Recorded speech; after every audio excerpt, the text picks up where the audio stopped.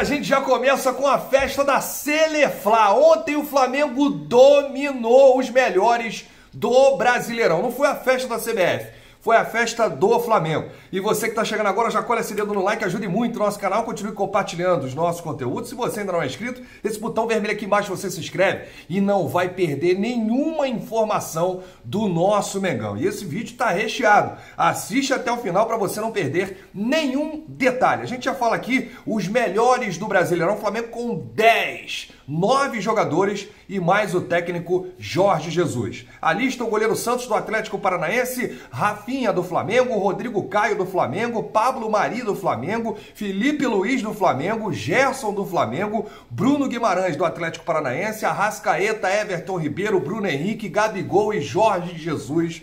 O melhor técnico do Brasileirão, com apenas cinco meses de trabalho. E o segundo melhor foi o Jorge Sampaoli. É, os técnicos brasileiros vão ter trabalho aí para é, que achar um, a, descobrir a pólvora, né? Se reinventar para o futebol, senão vai realmente ficar difícil. E aplausos aí para o Jorge Jesus que já começou o planejamento do Flamengo, hein? A gente vai trazer aqui todas as informações. O Flamengo recebeu proposta para levar a pré-temporada para a Europa e aí você vai ficar sabendo de tudo aqui. O craque da galera Everton Ribeiro. Flamengo com o maior público, os maiores públicos da temporada, as maiores bilheterias da temporada. Esse é o Mengão, ainda teve o gol mais bonito do Campeonato Brasileiro de Arrascaeta de bike, de bicicleta. Olha aqui, o Flamengo tem muitas ofertas para levar a pré-temporada para a Europa. Tem oferta também de Orlando, lá nos Estados Unidos, e nada tem a ver com a Florida Cup. É apenas uma pré-temporada nos Estados Unidos com um amistoso em Orlando. Existem também propostas para fazer a pré-temporada na China e uma, que eu acho que é essa que vai acontecer, uma boa proposta para o Flamengo realizar a pré-temporada em Portugal, em terras lusitanas. E o próprio Jorge Jesus já indicou para os dirigentes do Flamengo a sua preferência, é claro. A Santa Terrinha, lá em Portugal, ele que vai passar o Natal com a família depois aí desse Mundial.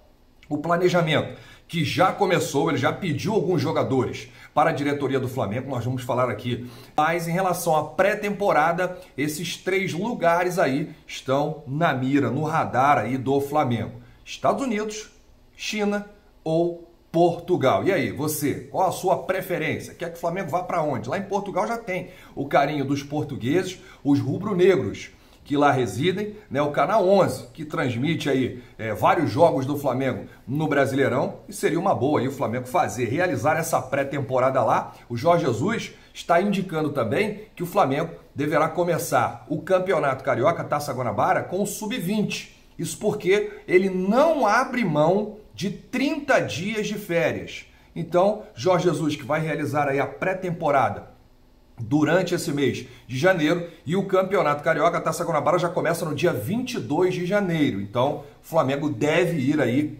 com o sub-20 para a Taça Guanabara. Olha aqui, o atacante Bruno Henrique no Flamengo. Até o momento são 60 jogos, fora o Mundial. Até agora, 60 jogos, 34 gols, 14 assistências, apelidado como Rei dos Clássicos. Ele foi eleito craque da Libertadores, foi eleito craque do Campeonato Brasileiro e falou que por ele faria um contrato vitalício com o Flamengo. Vamos ouvir. Depender só de você. Ah, contrato vitalício, depender de mim. É, o Flamengo é um time excepcional, com a estrutura muito grande tem um carinho pelo Flamengo. Então, por mim, eu fazia um contrato vitalício. Ele que custou 23 milhões de reais para os cofres rubro-negros. Agora, o último que falou em contrato vitalício foi parar lá no mundo árabe. Ah, Bruno Henrique, eu queria que você realmente ficasse aí, encerrasse a carreira no Flamengo para virar cada vez mais ídolo, contrato vitalício já. O Flamengo tem interesse na contratação do atacante Thiago, de 18 anos, do Náutico. Eu, sinceramente, não conheço. Se alguém conhece esse atacante aí do Timbu, coloca aqui nos comentários. O Náutico só libera por 3 milhões de euros.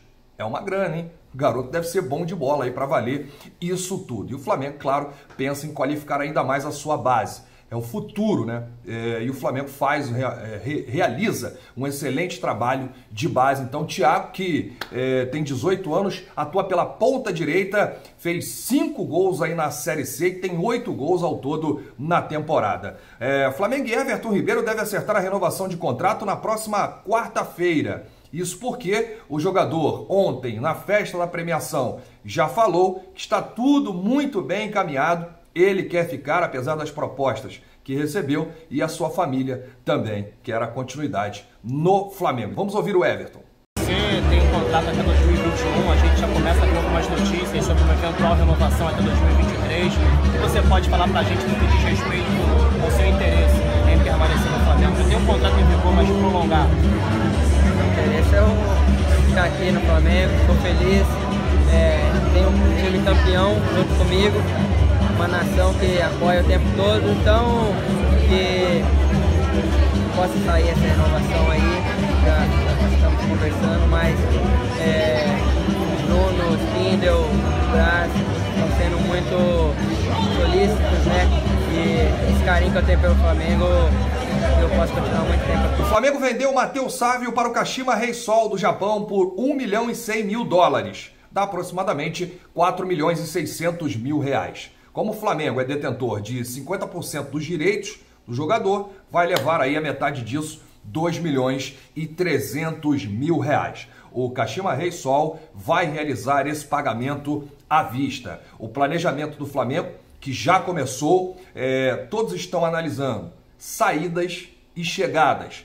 Palavras do Rodrigo Dunchin de Abrante, que é o vice-geral do Flamengo. E o Gabigol, hein? Ontem recebeu outras premiações do Campeonato Brasileiro. Quando ele foi receber o troféu, a torcida que lá estava na premiação na sede da CBF começou a cantar Fica Gabigol, Fica Gabigol. O próprio Caio, né, no, no programa do Galvão Bueno, do Sport TV, ele deu uma dica construtiva aí pro Gabigol. Ele falou: Gabigol, se você realmente for sair do Flamengo, que seja para um grande clube europeu né? Não saia do Flamengo, do Flamengo para qualquer clube. Que esse clube respeite aí as suas características. Você aqui, Gabigol, já é ídolo. Você é, faz a alegria das crianças. Então, pensa direitinho. O Gabigol deu uma risada e desconversou sobre o futuro. O próprio Marcos Braz falou ontem. O Flamengo quer. O Gabigol quer. Então, vamos fazer de tudo para que depois do Mundial a gente possa resolver essa situação junto à Inter de Milão. Gabigol falou o seguinte: o meu futuro depende da Inter de Milão, do Flamengo, de mim, da minha namorada. Ei, Gabigol, podia falar logo, né, antes do Mundial, mas ele vai deixar realmente para falar depois do Mundial. E o Flamengo segue em busca de um atacante, hein? Pedido do Jorge Jesus nesse ano. Vocês lembram? No meio do ano, o Jorge Jesus queria um atacante, só que o Flamengo trouxe nove jogadores para o time titular e não conseguiu aí trazer esse atacante. Em 2020 será diferente. O Flamengo que vai qualificar ainda mais o seu elenco e o nome que aparece aí na mesa dos dirigentes é do atacante Pedro, ex-fluminense e que está na Fiorentina. A negociação independe da renovação de contrato de Gabigol. Isso porque o Flamengo tentou contratar o Pedro no meio do ano, mas o Mário Bittencourt, presidente recém-chegado ao Fluminense, embarreirou essa negociação por se tratar de um rival. O Flamengo chegou a oferecer 12 milhões de euros por 70% né, dos direitos do Pedro, e aí o Fluminense vendeu por 11 é, vendeu um milhão a menos aí para a Fiorentina. Lá o time lá da Itália ele não deu certo lá ainda e o próprio Marcos Braz foi perguntado, desconversou. O Landim falou que o Pedro é um grande jogador e que o Flamengo é, sempre busca grandes jogadores. Então a real situação do Pedro é essa. O Fluminense vendeu aí por 11 milhões, 50 milhões de reais e 200 mil e ficou ainda com 20% numa possível venda futura. Mas o que o Flamengo quer fazer em relação ao Pedro? Quer tentar trazer ele por empréstimo até o final de 2020, arcando apenas com o seu salário, é, parecido aí com o que o Flamengo fez com a Inter de Milão, quando trouxe o Gabriel Barbosa, o Gabigol. Torcedor, com toda a sinceridade do mundo, e aí? O que você acha dessa possível contratação do Pedro? O Pedro tem vaga ali no ataque do Flamengo, caso o Gabigol fique? E se o Gabigol não ficar? O Pedro seria esse substituto à altura ou existe algum outro centroavante que te faça escolher no lugar do Pedro. Já deixa aí nos comentários para a gente manter aí um termômetro. No meu próximo vídeo de hoje, eu vou trazer aqui uma informação muito especial sobre o elenco do Flamengo. Tempo de contrato de cada jogador. Idade também. Por quê? Como o Flamengo está no mercado, atento para contratações, o Flamengo também olha para o seu próprio elenco para renovações e o nome de William Arão também aparece. Everton Ribeiro, William Arão, Reinier, que acabou de renovar. Então eu vou trazer essa informação muito importante no próximo vídeo. Um abraço a todos, saudações brunegras, isso aqui é Rafa Melo.